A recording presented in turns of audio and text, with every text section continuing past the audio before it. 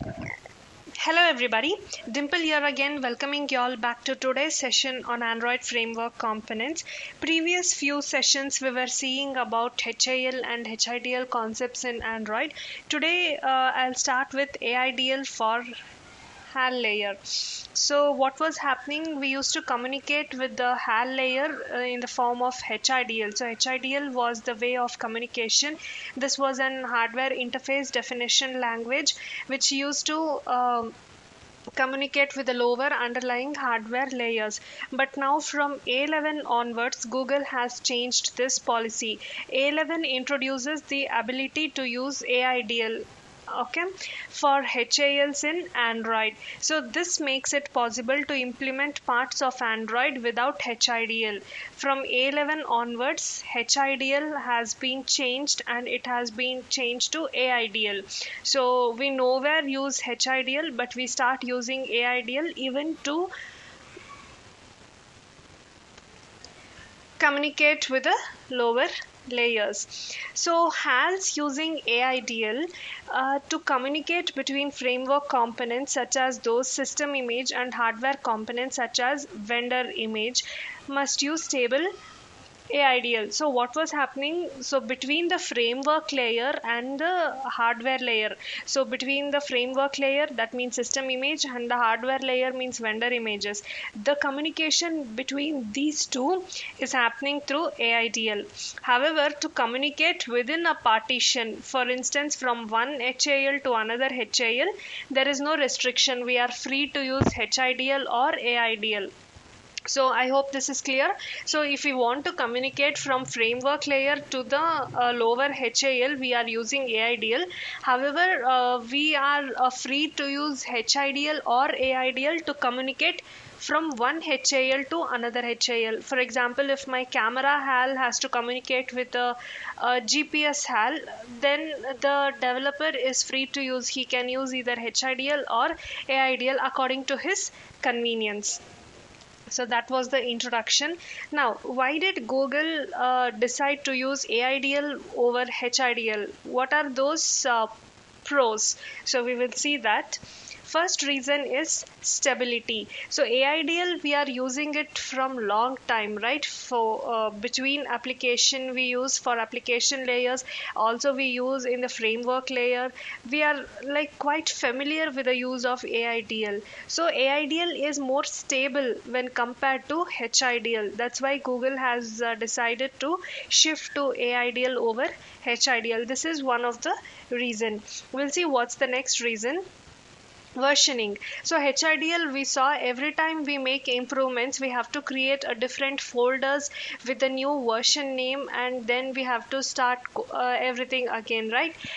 But AIDL there is no such confusion in the versioning layer. So we just uh, uh, if there is an AIDL file we just start appending to that the different interfaces. Okay imagine i have a file where i'm developing that from years. So i want to add new functionality new interfaces. So i add functionality in the form of interfaces. I just append those interfaces at the end of the file. And also i can uh, add interfaces at the runtime also. So there's no uh, versioning uh, problem. Versioning is very very easy when compared to aidl that is another reason google has uh, decided to move over AIDL compared to HIDL.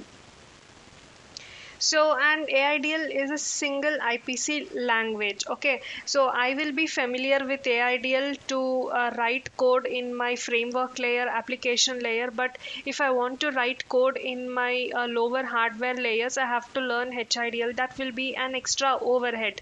So, uh, a single language, it's a single IPC language, right? We, uh, we know AIDL. So, if we learn one AIDL properly, now we can code the entire Android architecture even the lower uh, hardware layer. So it's easy to learn and easy to debug and easy to customize so it's very easy if we know one language when compared to learning two to different languages.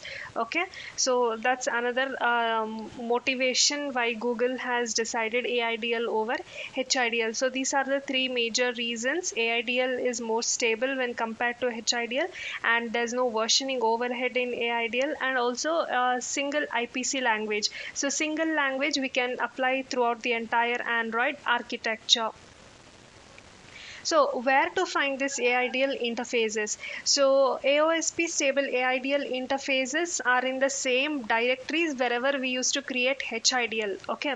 So instead of HIDL, there will be an AIDL folder now and the same, see, these are the three different locations where HIDL was present. In the same location, if we want to create our AIDL, we have to create. So one is hardware interfaces, one is framework hardware interfaces, another one is system hardware interfaces.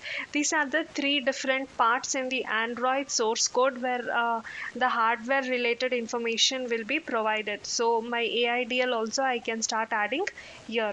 So this is the uh, place where to add the AIDL interfaces or where to find the AIDL interfaces so that was a small introduction. I just wanted to give why google has chosen aidl over hidl in my upcoming sessions i'll be telling more about uh, aidl so uh, today's question is uh, what is breakpoint in android? Few times we write android applications and we see few errors okay? When our application is very big there are multiple thousands of lines of code we will not have um, a clue about where exactly the error is. So that time these breakpoints come into picture. These breakpoints help us in debugging our application. So it will break the execution. In whichever uh, parts of the code we suspect that this can be the uh, corrupted code.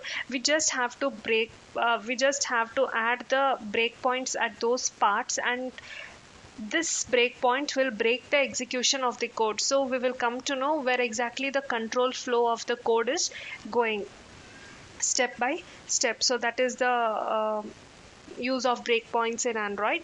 So yeah, uh, with this we'll come to end of today's session. I'll see you all soon in my next uh, session. Until then, everyone stay home, stay safe. Bye.